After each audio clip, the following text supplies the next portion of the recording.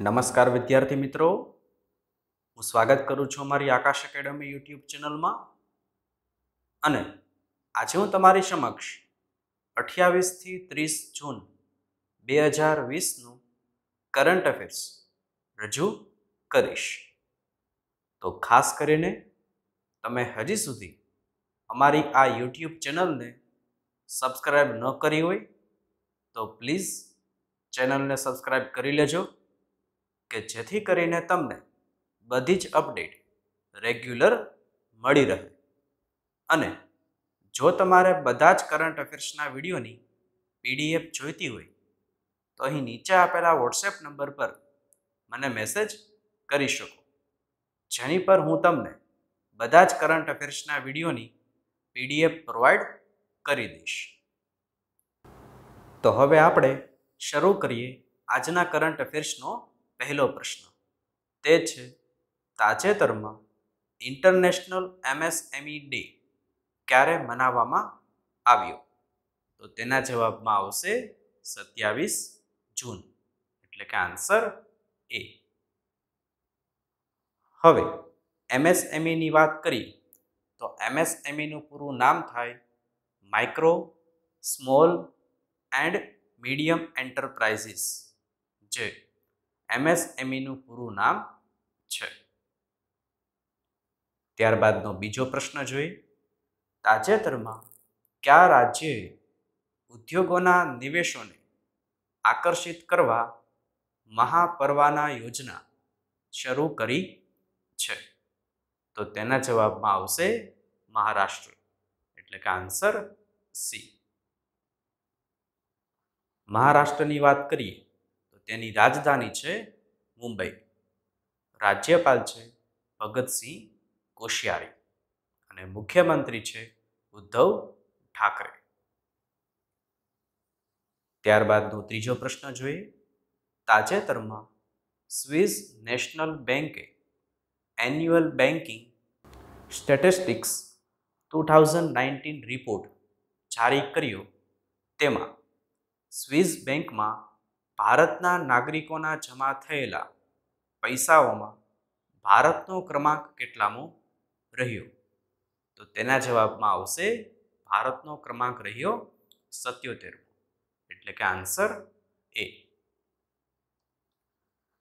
હવે Swiss national બેંકની વાત કરીએ, તો તેનું હેડક્વાર્ટર આવેલું છે સ્વિટ્ઝરલેન્ડના ઝ્યુરિચમાં. અને તેના ચેરપર્સન છે થોમસ જોર્ડન ત્યારબાદનો ચોથો પ્રશ્ન જોઈએ. તાજેતરમાં નેશનલ સ્ટેટિસ્ટિક્સ ડે ક્યારે મનાવવામાં આવ્યો? તો તેના જવાબમાં આવશે ઓગણત્રીસ જૂન. એટલે કે આન્સર સી. અને નેશનલ સ્ટેટિસ્ટિક્સ ડે કોની યાદમાં મનાવવામાં આવે છે? તો કે પ્રશાંત ચંદ્ર માલોની બસની યાદમાં મનાવવામાં આવે છે. અને નેશનલ સ્ટેટિસ્ટિક્સ ડે સૌ પ્રથમ વખત વર્ષ બે હજાર સાતમાં મનાવવામાં આવ્યો હતો. ત્યારબાદનો પાંચમો પ્રશ્ન જોઈએ. તાજેતરમાં કયો દેશ ડ્રોનથી તીડને નિયંત્રિત કરનાર પહેલો દેશ બન્યો? તો તેના જવાબમાં આવશે ભારત. એટલે કે આન્સર ડી. ત્યારબાદનો છઠ્ઠો પ્રશ્ન જોઈએ.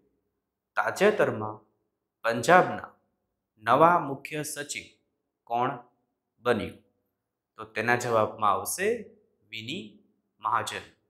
અને વિની મહાજનની પહેલા પંજાબના મુખ્ય સચિવ હતા કરણ અવતાર સિંહ.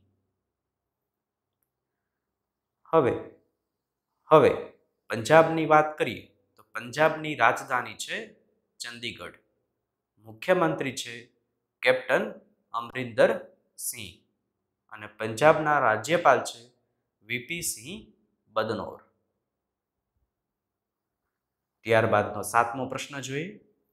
તાજેતરમાં કેન્દ્રીય રક્ષા રાજ્યમંત્રી શ્રીપદ નાઇકે પચીસ જૂનના રોજ બે દિવસીય ડિફેન્સ કોન્ક્લેવ ટુ થાઉઝન્ડ ટ્વેન્ટીનું ઉદ્ઘાટન કયા રાજ્યમાં કર્યું? તો તેના જવાબમાં આવશે ગુજરાત. એટલે કે આન્સર સી. ત્યારબાદનો આઠમો પ્રશ્ન જોઈએ. તાજેતરમાં મીટુ નામની પુસ્તક લોન્ચ થઈ તેના લેખક કોણ છે? તો તેના જવાબમાં આવશે તેના લેખકનું નામ છે કરણ પુરી. ત્યારબાદનો નવમો પ્રશ્ન, તાજેતરમાં ઈ પંચાયત પુરસ્કાર બે હજાર વીસ કયા રાજ્યએ જીત્યો? તો તેના જવાબમાં આવશે હિમાચલ પ્રદેશ. એટલે કે આન્સર એ. હવે હિમાચલ પ્રદેશની વાત કરીએ, તો તેની રાજધાની છે શિમલા અને ધર્મશાળા. રાજ્યપાલ છે બંદારુ દત્તાત્રેય અને મુખ્યમંત્રી છે જયરામ ઠાકુર. ત્યારબાદનો દસમો પ્રશ્ન જોઈએ. તાજેતરમાં કઈ રાજ્ય સરકારે આદર્શ પોલીસ સ્ટેશન યોજના શરૂ કરવાની જાહેરાત કરી છે? તો તેના જવાબમાં આવશે છત્તીસગઢ. એટલે આન્સર ડી છત્તીસગઢની વાત કરીએ, તો તેની રાજધાની છે રાયપુર. ગવર્નર છે અનસુયા ઉઈકે. અને ત્યાંના મુખ્યમંત્રી છે ભૂપેશ બાઘેલ. ત્યારબાદનો અગિયારમો પ્રશ્ન જોઈએ. તાજેતરમાં કઈ બેંકે યુઆપે નામની digital wallet mobile app launch કરી છે. તો તેના જવાબમાં આવશે યસ બેંક, એટલે કે આન્સર સી. અને યસ બેંકના એમડી અને સીઈઓ કોણ છે? તો તે છે પ્રશાંત કુમાર, જે યસ બેંકના એમડી અને સીઈઓ છે. ચેરમેન છે સુનિલ મહેતા, જે યસ બેંકના ચેરમેન છે. અને યસ બેંકનું હેડક્વાર્ટર ક્યાં આવેલું છે? તો તેનું હેડક્વાર્ટર આવેલું છે મુંબઈમાં. ત્યારબાદનો બારમો પ્રશ્ન જોઈએ. તાજેતરમાં કોણે પર્સનલ લોન માટે મોબાઈલ એપ નવી લેન્ડિંગ શરૂ કરી છે?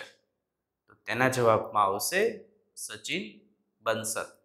એટલે કે આન્સર બી હવે, સચિન બંસલ કોણ છે? તો કે સચિન બંસલ અને બિન્ડી બંસલ. આ બંને ફ્લિપકાર્ટ કંપનીના ફાઉન્ડર છે. અને કલ્યાણ કૃષ્ણમૂર્તિ એ ફ્લિપકાર્ટ કંપનીના સીઈઓ છે. ત્યારબાદનો તેરમો પ્રશ્ન જોઈએ. તાજેતરમાં નાસાના મુખ્યાલયનું નામ બદલાવીને કોના નામ પર રાખવામાં આવશે? તો તેના જવાબમાં આવશે મેરી જેક્સન. એટલે કે આન્સર બી.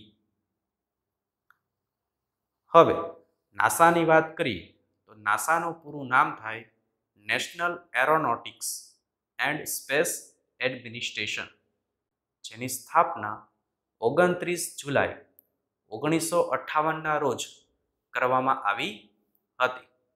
તેનું હેડક્વાર્ટર આવેલું છે યુએસના વોશિંગ્ટન ડીસીમાં. તેના એડમિનિસ્ટ્રેટર છે જીમ બ્રેડસ્ટી. તેના ડેપ્યુટી એડમિનિસ્ટ્રેટર છે જેમ્સ મોરહાર્ડ. અને ચીફ ફાઇનાન્શિયલ ઓફિસર છે જેફ ડેવિએટ. ત્યારબાદનો ચૌદમો પ્રશ્ન જોઈએ. તાજેતરમાં કઈ રાજ્ય સરકારે પ્રવાસી શ્રમ આયોગનું ગઠન કર્યું છે? તો તેના જવાબમાં આવશે મધ્યપ્રદેશ. એટલે કે આન્સર એ. હવે મધ્યપ્રદેશની વાત કરીએ, તો તેની રાજધાની છે ભોપાલ. રાજ્યપાલ છે લાલજી ટંડન. પરંતુ તાજેતરમાં મધ્યપ્રદેશના રાજ્યપાલની તબિયત સારી ન હોવાથી ત્યાંના રાજ્યપાલ બનાવવામાં આવ્યા છે આનંદીબેન પટેલને. ત્યારબાદ મધ્યપ્રદેશના મુખ્યમંત્રી છે શિવરાજસિંહ ચૌહાણ. ત્યારબાદનો પંદરમો પ્રશ્ન જોઈએ. તાજેતરમાં વર્લ્ડ કરાટે ફેડરેશન દ્વારા કયા દેશના કરાટે એસોસિએશનની માન્યતા અસ્થાયી રીતે સ્થગિત કરી દેવામાં આવી છે. તો તેના જવાબમાં આવશે ભારત. એટલે કે આન્સર ડી. ત્યારબાદ, વર્લ્ડ કરાટે ફેડરેશનનું હેડક્વાર્ટર આવેલું છે સ્પેનના મેડ્રિડમાં. અને વર્લ્ડ કરાટે ફેડરેશનના પ્રેસિડેન્ટ છે એન્ટોનિયો એસ્પિનોસ. ત્યારબાદનો સોળમો પ્રશ્ન જોઈએ. તાજેતરમાં કર્ણાટકમાં કેમ્પેગોડાની કેટલા ફૂટ ઊંચી પ્રતિમાની આધારશિલા રાખવામાં આવી? તો તેના જવાબમાં આવશે એકસો આઠ ફૂટ. એટલે કે આન્સર એ. હવે કેમ્પેગોડા કોણ છે?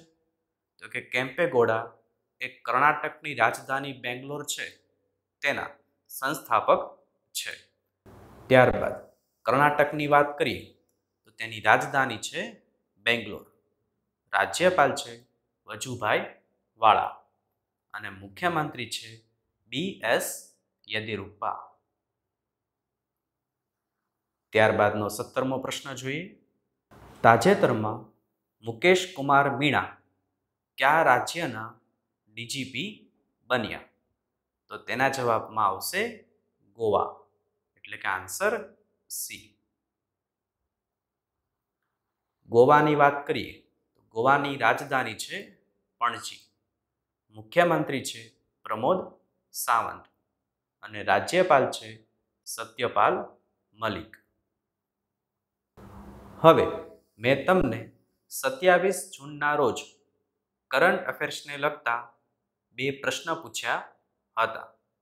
તો તેમાંનો પહેલો પ્રશ્ન હતો, તાજેતરમાં ફ્રીડમ ઓફ સ્પીચ એવોર્ડથી કોને સન્માનિત કરવામાં આવ્યા?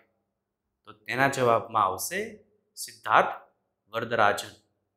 અને બીજો પ્રશ્ન હતો, તાજેતરમાં માલદીવ, મરેશિયસ, સેશલ્સ, મેડાગાસ્કર અને કોમોરોસ જેવા પાંચ દ્વીપ દેશોને મદદ કરવા કયા દેશે મિશન સાગર શરૂ કર્યું છે. તો તેના જવાબમાં આવશે ભારત. હવે, આજના કરંટ અફેર્સના બે પ્રશ્નો અહીં તમને આપેલા છે. આ બંને પ્રશ્નોનો સાચો જવાબ તમારે મને કોમેન્ટ બોક્સમાં આપવાનો રહેશે. તેમાંનો પહેલો પ્રશ્ન છે, તાજેતરમાં કઈ ઇન્સ્યોરન્સ કંપનીએ Arogya Sanjeevani health insurance policy launch કરી છે. અને બીજો પ્રશ્ન છે, તાજેતરમાં ઇન્ટરનેશનલ હોકી ફેડરેશનમાં અધ્યક્ષના રૂપમાં કોનો કાર્યકાળ વધારવામાં આવ્યો? આમ અહીં આપણે આજે અઠ્યાવીસથી ત્રીસ જૂન બે હજાર વીસનું કરંટ અફેર્સ પૂર્ણ કરીએ છીએ.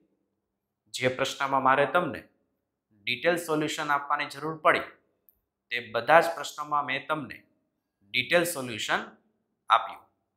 તો વીડિયો ગમ્યો હોય તો પ્લીઝ વિડીયોને શેર કરજો, લાઈક કરજો અને ચેનલને સબસ્ક્રાઈબ કરજો.